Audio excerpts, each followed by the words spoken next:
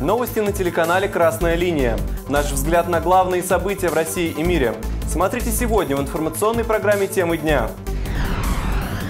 Вы знаете, на самом деле происходит страшное.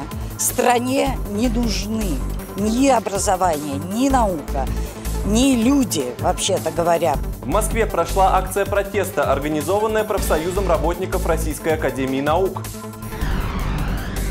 Не надо нам их денег. Дайте только бесплатный проезд. В Калининградской области власть отказывается принимать закон о льготах детям войны. Местные жители вышли на митинг. Население, если оно не имеет возможности через выборы поменять губернатора, оно будет другим иным методом менять его улицей. Под давлением Кремля откажется ли администрация президента от конкуренции на губернаторских выборах? Профсоюз работников Российской Академии Наук собрал на согласованный митинг в Москве около 500 человек. Акция протеста прошла в сквере Суворовской площади. Чего требовали ученые, расскажет Алексей Шабалдин. По подсчетам сотрудников РАН, научные организации в России сегодня недополучают от государства колоссальные суммы денег. Российскому фонду фундаментальных исследований недостает 25 миллиардов рублей, а Российскому научному фонду и того больше. На исследования не хватает как минимум 30 миллиардов. Мы требуем, чтобы правительство Российской Федерации выполнило указ президента об увеличении финансирования российской науки. Вообще говоря, это должен делать президент России. И второе, мы отходим от того, что выдвигаем на первый план увеличение заработной платы. Мы ставим одновременно два вопроса, чтобы было увеличение и финансирования научных исследований, и научной инфраструктуры, и заработной платы. Президент России все время говорит о необходимости технологического прорыва страны. И было бы логично, чтобы ученые вместо митингов создавали новые технологии, повышая уровень интеллекта нации и наращивая ее благосостояние. Участники митинга задаются вопросом, почему люди науки вынуждены сегодня стоять с протянутой рукой. Вы знаете, на самом деле происходит страшное. Стране не нужны ни образование, ни наука не люди, вообще-то говоря, потому что выжить на зарплату в 12 тысяч сотрудникам младшим научным семьей невозможно. Логика действий, которая навязывается академической науке в последние годы, постоянное сокращение ради выживания. Число сотрудников и научных организаций постоянно уменьшается для того, чтобы удержать текущий уровень материального обеспечения исследований. При сохранении нынешних тенденций невозможно рассчитывать на то, что российская наука окажется конкурентоспособной. Мы хотим, чтобы Россия была конкурентоспособной державой в области науки и технологий, а значит и экономики. И если мы хотим, чтобы Россия была такой, она должна вкладывать примерно тот же объем средств в отношении к воловому внутреннему продукту в науку, как и вкладывают развитые страны, как теперь и Китай вкладывает. Акция протеста ученых прошла в разгар отпусков и полевых работ у археологов, ботаников и биологов. Но организаторы митинга считают, что заявить о своей непримиримой позиции важно сейчас, когда в правительстве начинается формирование бюджета на 2018 год. Если правительство нас не услышит, мы осенью будем проводить более широкую акцию и сделаем ее всероссийской. Митинги пройдут не только в Москве, но и в Сибири, в Петербурге, на Дальнем Востоке. Мы будем стучаться, пока нас не услышат. Центральный совет профсоюза предлагает направлять индивидуальные обращения к президенту России, в правительство и Госдуму. В них ученые должны изложить свои требования по увеличению финансирования фундаментальных исследований и средств федерального бюджета.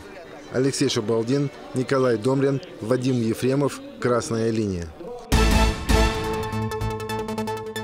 О них забыли. В Калининградской области власть отказывается принимать закон о льготах детям войны. Местные жители при поддержке КПРФ провели митинг в защиту тех, чье детство пришлось на тяжелые военные годы. В Калининградской области проживает более 70 тысяч человек, которых можно отнести к категории «дети войны». Большинство из них получают мизерные пенсии по 8-9 тысяч рублей. Но они не просят денег у власти, им нужны лишь льготы на проезд потому что очень много денег уходит на то, чтобы проехаться. Они еще хотят жить, они еще хотят ходить и бегать. В сентябре в регионе пройдут выборы губернатора. Коммунисты уверены, от выбора граждан будет зависеть судьба закона о льготах детям войны. Если после 10 сентября останется действующий еврею-губернатора, закон будет отклонен, несмотря на то, что уже это будет запрос народа. А если будет избран красный губернатор, то закон вступит уже, в, будет принят уже в октябре этого года. Законы о льготах детям войны уже приняты в 20 регионах России. Калининградские коммунисты будут бороться за достойную жизнь этой категории граждан и в их области. Председатель Совета Федерации Валентина Матвиенко вышла к протестующим, которые собрались перед зданием Верхней Палаты парламента. Люди выступили против ранее принятого законопроекта о реновации в Москве. В ответ Матвиенко заявила, что закон о сносе домов не нарушает права людей, и поэтому он будет принят. Коротко о других новостях в стране. Росприроднадзор проведет проверки действующих полигонов по сбору мусора. Глава ведомства Артем Сидоров отметил, что таких объектов по всей стране насчитывается около тысячи. Ранее власти Подмосковья по поручению президента Владимира Путина приняли решение о незамедлительном закрытии в Балашихе мусорного полигона Кучина. Правительство обсуждает возможность создания фонда цифровой экономики объемом в 100 миллиардов рублей. Об этом сообщил помощник президента России Андрей Белоусов.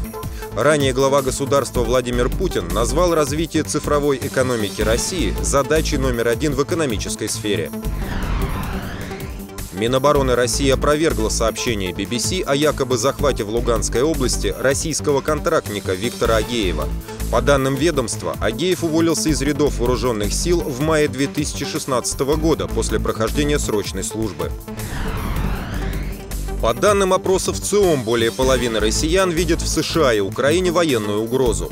К числу потенциальных агрессоров респонденты относят военный блок НАТО, Великобританию и запрещенный в России ИГИЛ. В случае вооруженного конфликта россияне ждут поддержки в первую очередь от Китая, Белоруссии и Казахстана. Руководство внутриполитического блока администрации президента решило отказаться от конкуренции на предстоящих выборах губернаторов 16 регионов. Об этом пишут ведомости. Как утверждают собеседники издания, близкие к Кремлю, сильные оппоненты действующей власти не нужны. Кандидаты якобы не смогут пройти муниципальный фильтр, а значит и не стоит стараться. В КПРФ к этой новости отнеслись скептически. Коммунисты считают, что отменить конкуренцию на выборах нельзя в силу законодательных причин. Конечно, применяются разного рода, так сказать, политические махинации для того, чтобы предотвратить это. В частности, через этот так называемый муниципальный фильтр, который не пропускает э, кандидатов, и особенно сильных кандидатов, э, э, не допускает их для участия на выборах. Но формально запретить конкуренцию на выборах в принципе невозможно. Более того, вот появление таких новостей бьет по имиджу самой администрации. И тем не менее, муниципальный фильтр – серьезная преграда. Вкратце напомним о его механизме. Кандидат в губернаторы по закону должен собрать от 5 до 10% подписей депутатов региона. Только после этого он сможет участвовать в выборах. Как считают эксперты, такая схема позволяет власти отсеять действительно сильных конкурентов. Действительно, Кремль боится конкуренции. Это мы видели и на, в прошлом году, и позапрошлом году, когда наших кандидатов Соловьева Вадима Георгиевича в, в Твери не пустили на губернаторское через фильтр. Значит, в Липецке, э, Липецке Николай Васильевич Разворотнева также не пустили по фильтру на э, губернаторские выборы, потому что это сильные кандидаты, и по опросам они выигрывали партии власти. Депутаты фракции КПРФ в Госдуме уже неоднократно высказывались за отмену муниципального фильтра. По их мнению, если власть продолжит поддерживать существующую избирательную систему, то это приведет к массовым протестам. Причиной будущих волнений станет невозможность общества через выборы менять существующую систему. Население, если оно не имеет возможности через выборы поменять губернатора, оно будет другим иным методом менять его улицей, булыжником пролетариата, значит, плиткой Собянина, любой, дубиной, но третьего варианта просто не дано. Пока же все действия власти, направленные на уменьшение конкуренции на выборах, приводят к снижению явки. В Москве на 10 сентября выборы в органы местного самоуправления э, прогнозируется 7% явка. 7% это позорище. И вот этот шаг Кремля, если они его будут притворять в жизнь 10 они еще меньше усушат явку. А впереди президентские.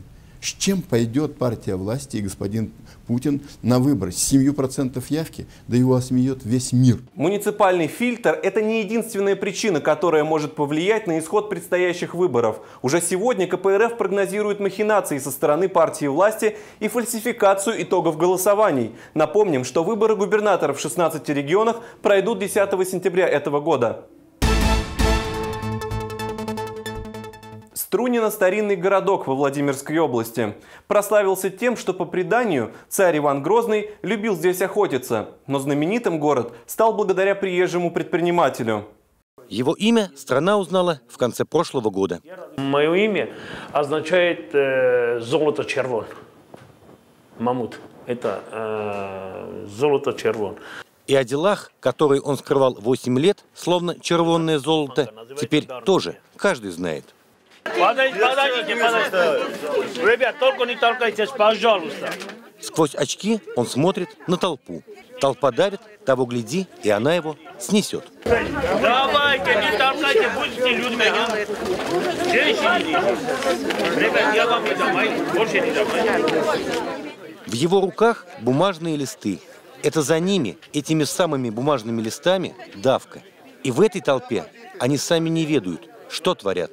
Люди, не толкайте, тихо, тихо, толкайте. Тихо, тихо. Пришел, сказал, он же из больницы только что. Ну, правильно, не толкайте. Основной бизнес Мамуда Шевершана – доставка хлеба другим предпринимателям. Магазин так, что-то вроде социальной нагрузки. Не было бы его, негде было бы раздавать бесплатный хлеб. Арендую, чтобы там было где-то пенсионерам хлеб раздавать, талоны давать. Я его арендую, это не моя собственность. И у вас ни одного магазина нет? Нет, ни одного магазина. У меня собственности нету. Ни одного магазина нет. Удивительно, но до того, как о нем стали писать журналисты, местная власть даже не знала, кто на самом деле кормит народ. Хотел бы чуть-чуть хотя бы внимания. Больше ничего. Ни помощи, ничего не, хочу, не хочу от власти, от никого. Понимаете, а когда э, они не знают, э, даже внимания не обращают, то это что-то обидно. Местные бабушки на лавочке тоже обсуждают власть и жизнь свою, прошлую. Вы где работали? Я на железке, я работала, 20 лет отработала на железке. Тоже. На каком? Текстильный. Текстильный Фабрик у нас. У нас тут комбинат же был. А я в прядельном работала. Все развалились. Я 20 лет ленторовница. Там на фабрике работали. Один комбинат был, и все мы там работали. А комбинат закрыт сейчас, да? Да. Ну там раздолбанили. Слова о том, как сегодня живут Струнина, их дети и внуки, застревают в горле. Так, даже не слова, крошки. Работа-то молодежь есть? Конечно, не все в Москве работают, кто может. Все в Москве есть? Конечно. Я тоже а, а кто не хочет, то пьют с утра до ночи. Мамут знает, что о нем говорят, как называют за глаза, какие письма и куда пишут. Он клянется, что будет раздавать хлеб, несмотря ни на что. Денег нету. Пошла хлеб купила. Да, а потолочек дадут. Молодец, что дает, я хочу сказать. Молодец. Ну, мы ему говорим Молодец, спасибо. дает. Евросоюз продлил экономические санкции против России на полгода. Решение было принято после докладов президента Франции Эммануэля Макрона и канцлера Германии Ангелы Меркель на саммите ЕС о выполнении Минских соглашений. Коротко о других новостях в мире. Кремль не располагает достоверной информацией о происхождении компьютерного вируса-вымогателя «Петя», заявил пресс-секретарь президента России Дмитрий Песков. Он отметил, что всем странам нужно объединить усилия, чтобы противостоять киберугрозам. Напомним, вирус «Петя» поразил сотни компьютеров во многих странах, в том числе и в России. Иракская армия освободила от террористов половину территории Масула, заявили представители военного ведомства страны. Под контроль правительственных войск вернулись несколько районов в старом городе. Ранее они были захвачены террористами запрещенной в России группировки «Исламское государство». Тысячи аргентинцев вышли на улицы Буэнос-Айреса, чтобы выразить протест против экономической политики президента Маурисио Макри. Демонстранты прошли маршем до здания Министерства труда. Они потребовали от властей повысить зарплаты и выделить средства на программу социального обеспечения граждан. Машинисты мадридского метро начали забастовку. Они требуют улучшения условий труда. По мнению работников транспортного предприятия, в силу вредности профессии им полагается право бесплатного пользования медицинскими услугами. Акция протеста продлится до 2 июля. На этом наш выпуск завершен. Всего доброго и до встречи.